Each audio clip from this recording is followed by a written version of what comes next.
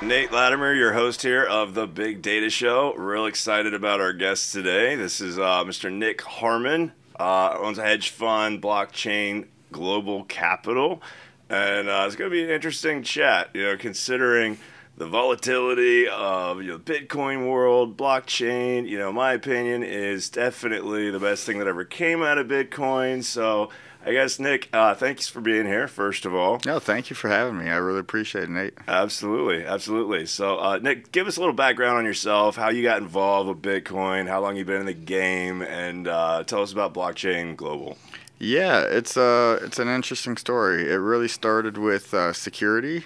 I was trying to figure out how to. Um, I was just looking into encryption in general, learning about different algorithms, um, and I came upon learning PGP and the you know the SHA and all those uh, different encryption methods. Um, and then when I was studying those, I learned about Bitcoin, and um, it wasn't too far off. And so I started messing with it, you know, putting a couple bucks in thinking it was fun to send you know a couple bucks to a family member and signing transactions and doing it the whole manual way and then you know i kind of stopped for a little bit traded you know on and off um, didn't really know the importance of it of what i had found.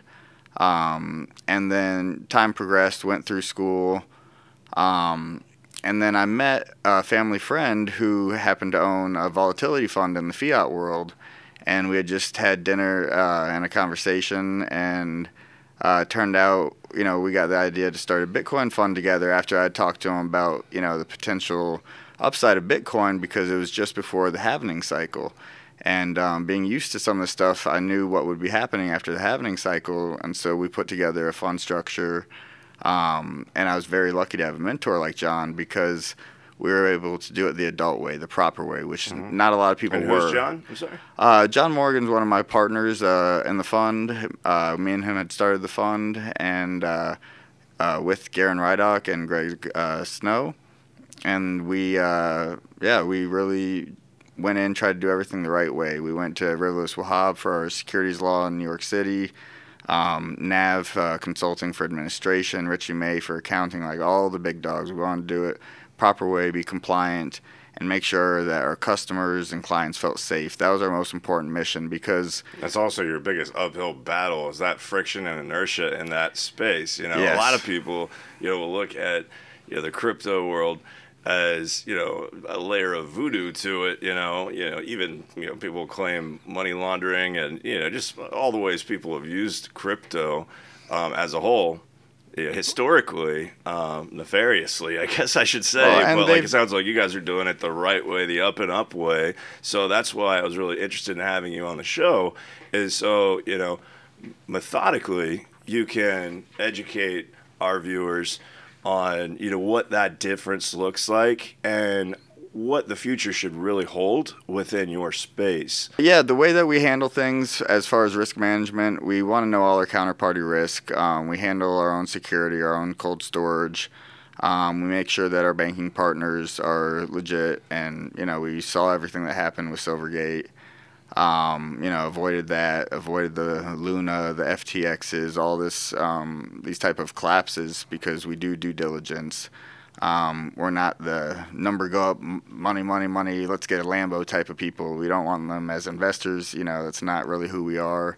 Uh, we're more of a conservative fund that likes to have a buy and hold approach where we look at long term cycles. Um, our last buy, for example, was at about 18,000. Bitcoin's now running around 27,000, bouncing between that and like 30. Um, and then we have an artificial intelligence model that takes another portion of the fund and enters and exits the market based on structure. And that's something that I'm super interested in. You know, uh, with this AI boom that's going on, you know, I mean, just the the algos alone, the algorithms are, are pretty impressive. So, um, you know, making your clients feel safe is super important. Um, you know, being the grown up in the room, so to speak um, that's you know been through it and you know really understands the technology and how to put those algorithms to use and have a proven track record so that you know they do feel safe uh, is super important. So what does that strategy look like for you guys? How are you doing it? So, without giving away the, the secret, secret, sauce, sauce. of course, sure, right. um, you know what we do is we look at the market structure, we look at it at multiple time frames, and then we have a series of decisions that is um, supervised machine learning. And what happens is we watch and we see what these signals uh, show us, and then we decide if we should be in market or out of market. And really, it's kind of like a beta model where we try to stay in as long as we're going up. And once we see that we're going to go flat or into a bear market, we exit and wait for a bull market to return. That way, people aren't losing their capital. You keep your gains, avoid the losses, and go back to you know earning more gains. We are working on an alpha model. It will have a little bit more risk, but you'll be going um, long in the uh, bull markets, short in the bear, and you know making. So it really just depends on the client's risk it's, appetite. It's a risk right? appetite. So that'd be a separate fund, of course. Um, that one we had been talking with a company named Endotech, really interesting company that um, you know we had just got to know in the last uh, couple months, and uh, you know we'll see how that goes. But they have some really interesting artificial intelligence uh, teams, and I think they have about 70 quants and uh, yeah, we're we're pretty interested in their institutional technology, but Very leave cool. it at that. Yeah, I'd like to see how that pans out. Like, um, you know, I guess really my question within that space is, you know, with the artificial intelligence tools, you know, gauging the you know enter and exit strategy.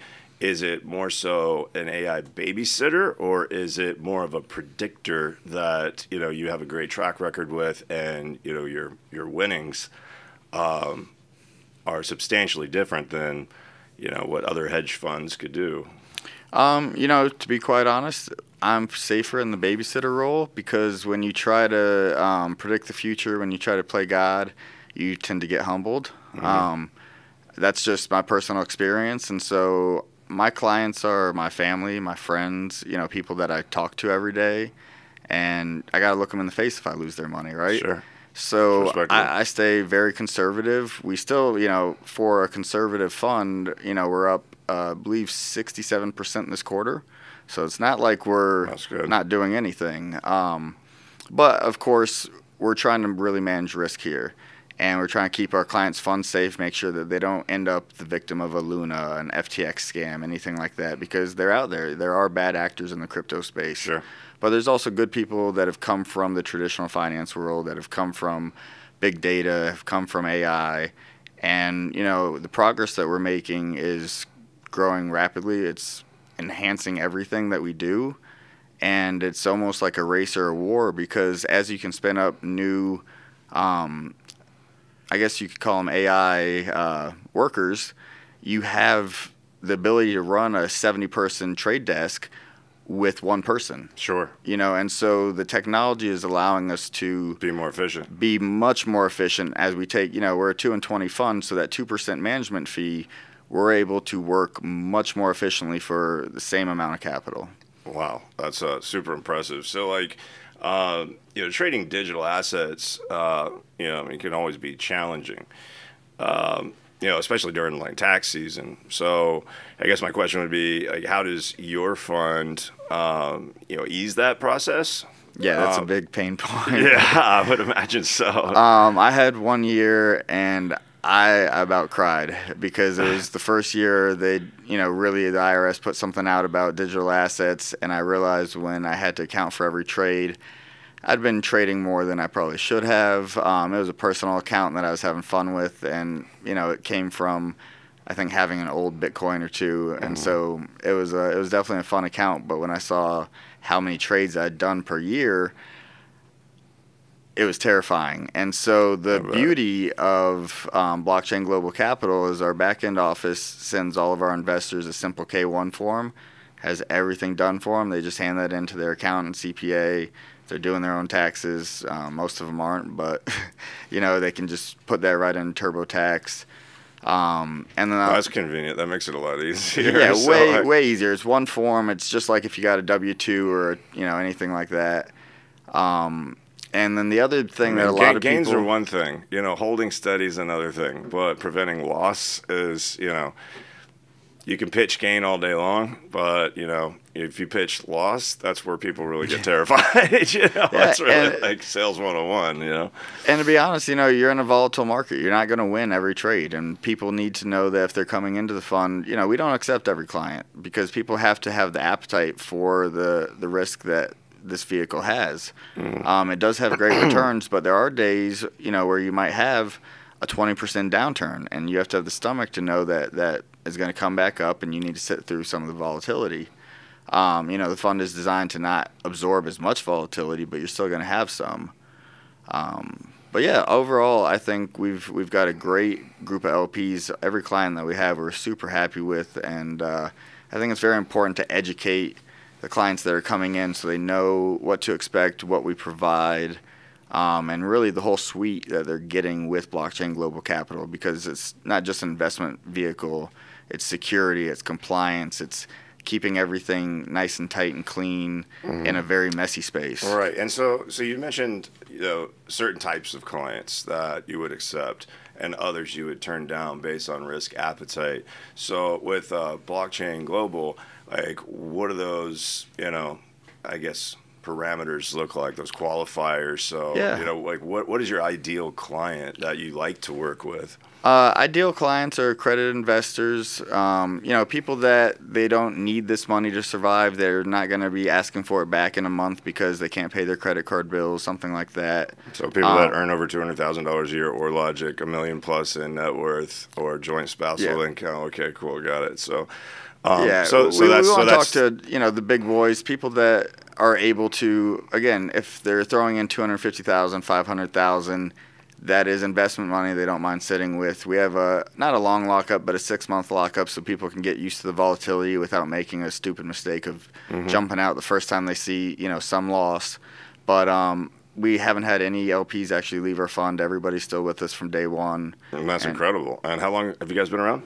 Uh, we're approaching three years now. Okay, cool. So three years, and nobody's jumped ship yet. That's amazing. Nope. So uh, I guess that leads me to my next question, which uh, you know, is kind of a hard question that nobody really wants to be asked. But like, uh, I mean, I guess what is your, you know, being in the game?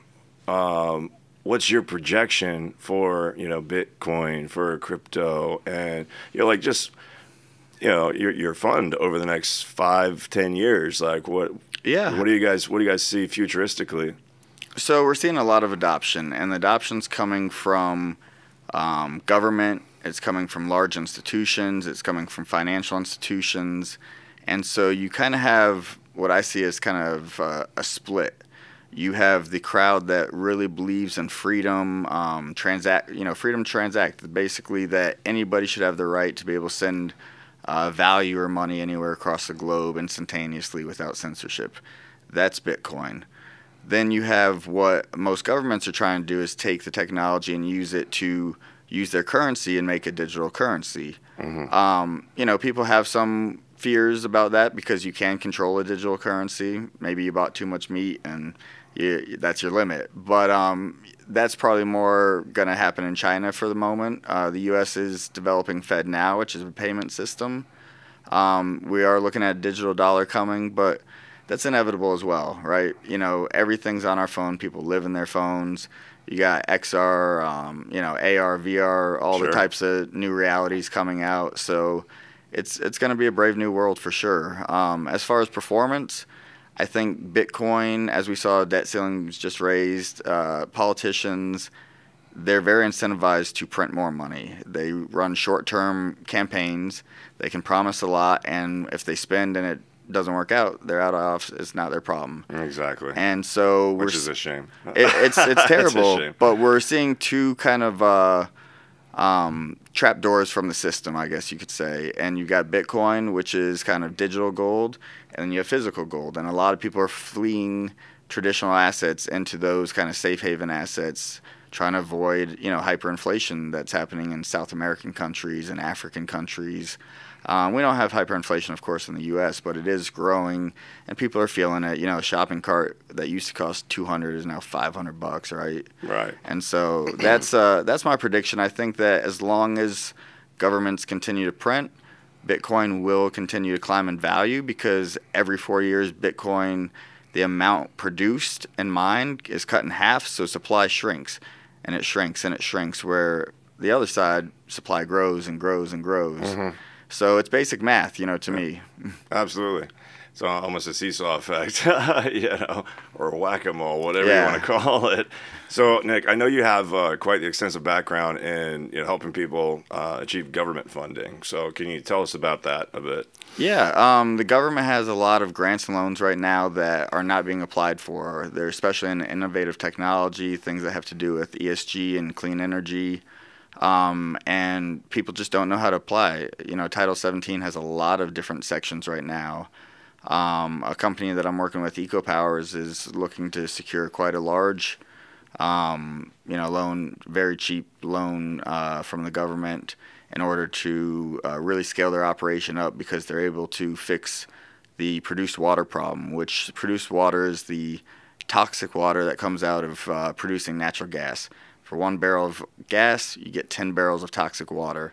Most companies pump that toxic water into the ground and it's been causing earthquakes. You know, they've patented a technology that reduces it between 70 and 90 percent, just doesn't come back up. Um, it's just better engineering, and that's it. And so um, we're really looking to push that technology forward, reduce some of those issues. Um, anybody that has an innovative idea that could be clean energy, uh, innovative technology, anything like that, they should look up, you know, Title 17. They should get in touch with the government branches.